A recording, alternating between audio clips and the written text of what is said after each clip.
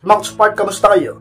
At makas pa sa pagpunta ngayon pag-uusapan po natin ang mga sikreto para umiyak sa pagkami sa iyo, ang mga lalaki.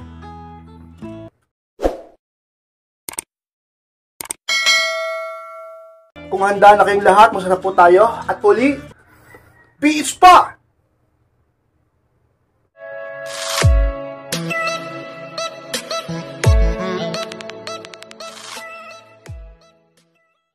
At ang unang sikreto para umiyak sa pagkami sa sinalakis, huwag mo siyang kausapin talaga after kanyang lokohin. Yan ang unang sikreto dyan kay Ito naman ay para sa mga niloko.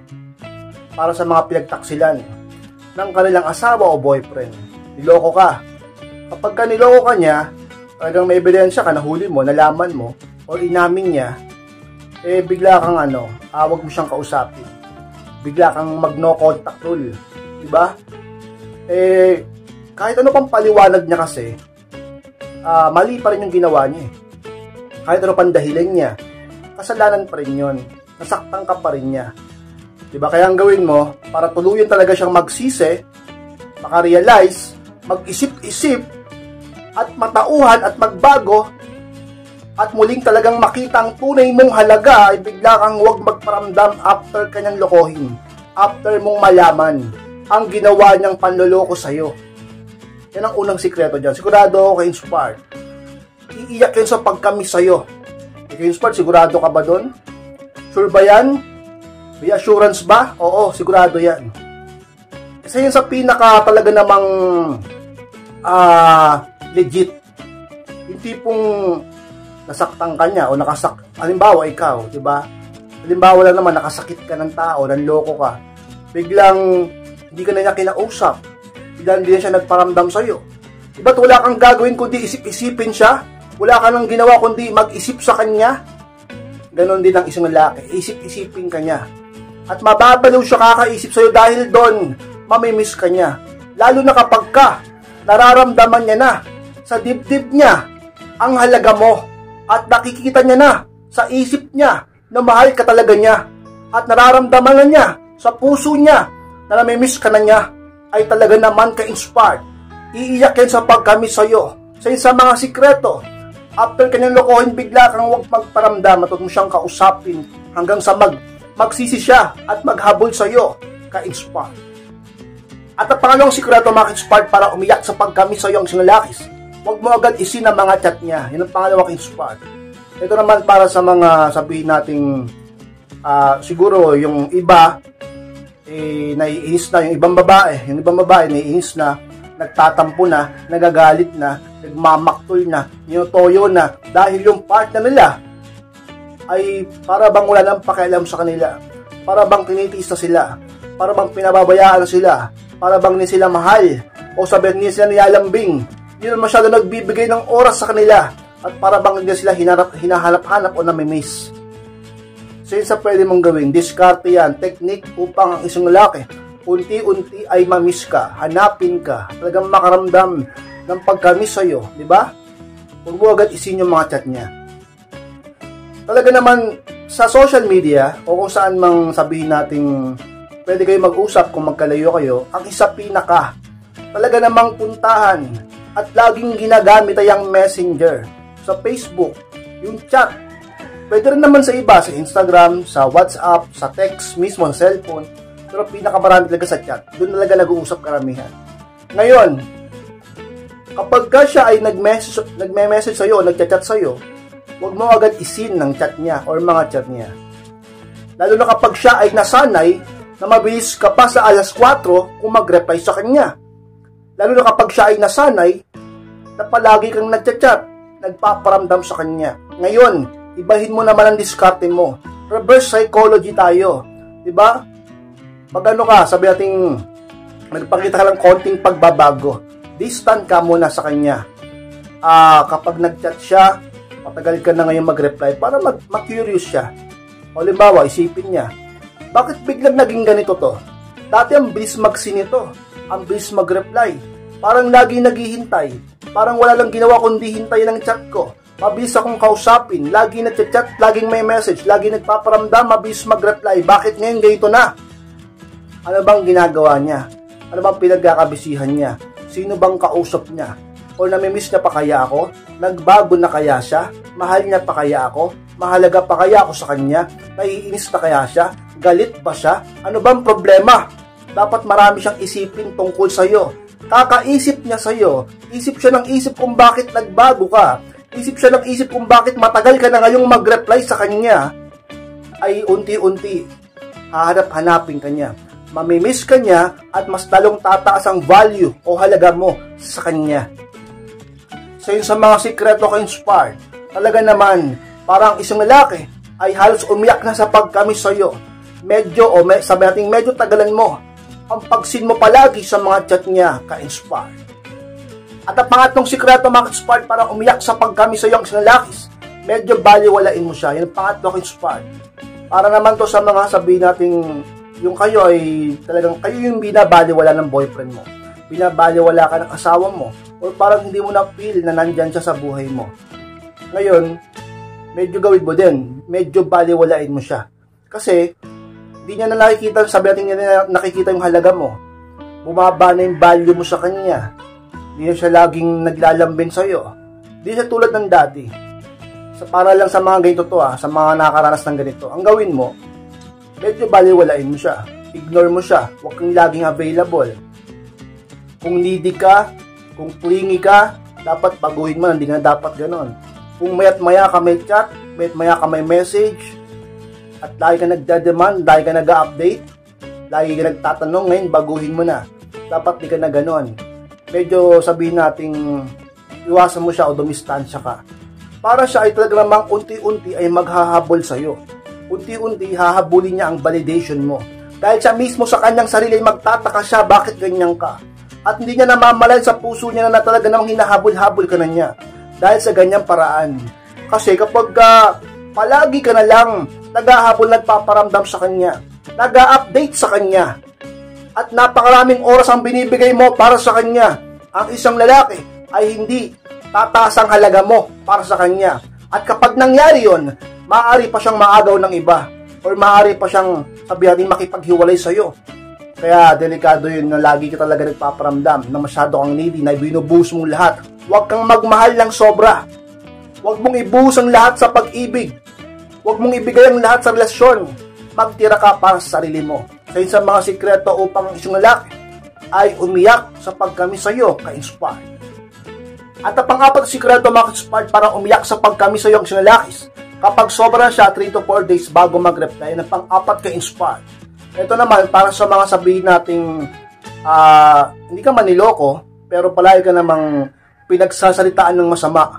Hindi ka nga niya niloko, hindi nga, hindi nga siya ng babae, pero palagi ka naman niyang sinasaktan sa kanyang mga salita. O sabi nating uh, ina, uh, sumusobra na siya sa mga ibang bagay na mali ang ginagawa niya sa'yo. Yun nga yun, sabihin nating nagsisinungaling din siya sa ibang bagay o minumura ka niya. Minsan, sinasaktan pa yung iba dyan physical. Yung iba naman, pinapahiya pa. Yung iba, sabihin nating uh, binabaliwala rin kayo, di, di na kayo pinapansin masyado, di na kayo pinaprioridad, at sabihin nating uh, hindi na siya ganun ka lambing sa'yo. Kapag sobra-sobra talaga, at para bang pilin mo, kailangan nyo mo ng space kaya, kailangan nyo munang magpalamig. Kailangan nyo munang mag-isip-isip. Kailangan nyo munang lumayo sa isa. Ay gamitan mo siya ng ganyang paraan. 3 to 4 days base sa pag-aaral. Sa natutunan ko, uh, ah, 3 to 4 days, eh doon ka talaga hahanap-hanapin na ng isang tao din. Doon magsisimula. Eh wala pa nga 3 days minsan, iniisip ka na niya, hinahanap ka na niya eh. ba? Kasi yung iba sa inyo, lagi nagsasabi sa akin, kay inspired yung boyfriend ko, yung asawa ko. Minsan, isang buong araw, dalawang araw, tatlong araw, di nagpaparamdam sa akin. Ako laging message ng message, ako laging chat ng chat, ako laging tawag ng tawag. Ngayon, pag ginawa mo yan sa kanya, sigurado ako kay inspired, magtataka yan. Iisipin ka niyan, at sa katagalan, magpaparamdam yan sa'yo. At madadagdagan ng oras niya sa'yo. Mag-e-effort sa'yo sapagkat iniisip at nahinahanap-hanap ka na sa sa mga pwede mong gawin. Tips ko sa inyo, sikreto upang isang laki ay mamiss ka. 3 to 4 days, sigurado ako hanapin ka na niyan. At muling unti-unting babalik ang halaga mo. Hindi na rin biro ang ilang, ilang araw na yon. para hanapin kanya ka-inspired. At naman namang sikreto mga inspired para umiyak sa pagkami sa iyong sinalakis. No contact sabay bigla kang magpaganda yan ang panlima ka-inspired. Alam niyo mga inspired, alam niyo naman kung kailan dapat gamitin ang no contact, di ba? Lalo na kapag ka ikaw ay naabuso na, sinasaktan na, patuloy na yung loko, patuloy na ka lang umiiyak at di na nakikita ang halaga mo, mag no contact ka. Siyempre kapag nag no contact rule ka, ginamit mo yung no contact rule para bumalik yung halaga mo, mamiss ka niya, eh hindi ka lang naman dapat naghihintay. O no contact ka sa kanya, pero dapat may ginagawa ka sa sarili mo. Dapat kasabay ng no contact rule, no contact rule mo ay nagpapaganda ka habang hinahanap-hanap ka niya, habang iniisip-isip ka niya, habang nagwa-wonder siya kung anong ginagawa mo, habang ini-stalk ka niya, habang siya ay talaga namang unti-unting nangungulit sa iyo, unti-unting nagtatanong sa iba tungkol sa iyo, unti-unting hinahanap-hanap ka na, namimiss ka na, at nakikita niya na ang halaga mo, ay gumaganda ka palalo. Mag-ano ka? Mag-improve ka. Sabi natin, kung may budget ka, pumunta ka ng parlor. Magpaayos ka ng buhok mo uh, magpa-facial ka, bumili ka ng mga bago mong damit, eh sabihin ng iba kay inspired, paano naman kami, kaming mga mahihirap, eh may paraan pa rin naman kung paano ka gaganda nang hindi ka masyadong gumagastos. Alam nyo, meron akong kakilala, ukay-ukay lang ha, ukay-ukay lang. Yung mga damit na sinusuot niya, akala mo imported eh. Yung mga damit na sinusuot niya, akala mo uh, mamahalin. Pero totoo, ukay-ukay lang yon 50 pesos, meron isang daan. 'Di ba? Nasa diskarte lang 'yan. O meron naman siya, meron namang isang kaibigan, babae, lagi malagi maganda buhok niya. Kasi magaling siya makisama dun sa nag-aayos ng buhok, kaya binibigyan siya ng discount. Ganun dapat diskarte lang 'yan. Hindi puro laging lahat na lang eh kailangan maraming pera. Eh kung lagi yan ang mindset mo, paano kang mag-aayos ng sarili mo? Naghahanap ka na lang palagi ng dahilan. Kayong iba sa inyo mukha ng losyang eh. Kayong iba sa inyo mukha ng ewan eh. Kayong iba sa inyo mukha ng alam mo eh, napag-iwanan ng panahon eh. Kayong iba sa inyo mukha ng talaga naman hindi ka na kakakit-akit dati ganda-ganda mo ngayon hindi na. Pag-ayos ka muli. Ibalik mo ang ganda mo. Ibalik mo ang alindog mo. Magpaganda ka, mag-ayos ka pag attractive ka, pag no contact ka, pag hindi pag binabali wala ka na niya, mag no contact ka pag sobrang na siya sa'yo, pag no-contact ka kapag palagi ka sinasaktan. Pag no-contact ka kapag palagi ka niya pinapaluha. Pag no-contact ka kapag talaga namang ka-inspire hindi mo na kaya ang mga ginagawa, pinapakita, pinaparanas niya sa'yo. Kasabay ng no-contact ay magpaganda ka. Tingnan natin kung talaga namang hindi yan maghahabol sa'yo at umiyak sa pagkamit sa'yo ka-inspire. At ang mga tips mga inspired para umiyak sa pagkamit sa'yo ang isang lalakis, bigla kang maging abala. Yung pang-anim ka-inspired Talaga naman. Para umiyak sa pagkamisiyang sa lalaki sa mga paraan at sikreto. Tips ko sa inyo ay talaga namang bigla kang maging abala. Alam nyo mga kispra, pagiging abala ay talaga namang nakakatulong yan upang ikaw ay maging mahalaga. 'Di ba? Eh bakit ganoon? Kasi pag di ka abala, wala ka nang ginawa kundi mangulit sa partner mo. Pag hindi ka abala, pag di ka busy, wala ka nang ginawa kundi maghintay na lang sa partner mo. Kapag hindi ka busy, pag hindi ka abala, wala ka lang ginawa o minsan di mo na napipigilan ang sarili mo na talaga namang kausapin na lang palagi ang partner mo dahil doon baka nagsasawa na yan sa'yo. Pag nagsawa yan sa'yo, manlalamig yan sa'yo. Pag nanlamig yan sa'yo, mismong siya, baka sabihin niya sa kanyang sarili, hindi ka na niya mahal. Minsan ang damdamin ay talaga namang mapandin lang. Akala niya hindi ka na niya mahal, pero totoo, ano lang, ano, uh, nagsasawa lang sa paulit-ulit na pag may message mo, pangungulit mo, bigyan mo siya ng pagkakataon na magkaroon siya ng oras sa sarili niya na kahit wala ka, ay nagiging masaya pa rin siya. Hanapin ka naman yan, mahal ka naman yan eh. Huwag kang makulit, huwag kang puro selos, huwag kang puro hinala, huwag kang puro bantay, huwag kang puro bakod. Huwag kang puro sabihin nating uh, gusto mo lagi siya mag-update sa'yo, nakakasakal ka na. Huwag kang laging ganyan, akala mo lagi kang maagawan. Akala mo lagi ka lang mawawalan. Ganyan, ganyan ka ba ka-insecure? Ganyan ka ba tingin mo sa sarili mo? Wala ka bang bilib sa sarili mo? Wala ka bang tiwala sa Kanya? Wala ka bang tiwala sa sarili mo at sa Panginoon? Magtiwala ka sa Panginoon Diyos. Magtiwala ka sa Kanya. Magtiwala ka sa sarili mo. Maging abala ka sa ibang bagay, wag laging sa Kanya. huwag mong ibuhos ang lahat sa lalaki. Sapagkat kapag binuhos mo ang lahat sa lalaki, ang oras mo, ang pera mo, ang lakas mo, ay sigurado ay magsasawa rin sa'yo. Bababa ang value o halaga mo. Kapag nangyari yon, baka ikaw mismo ang magsabi sa sarili mo na nagbago siya.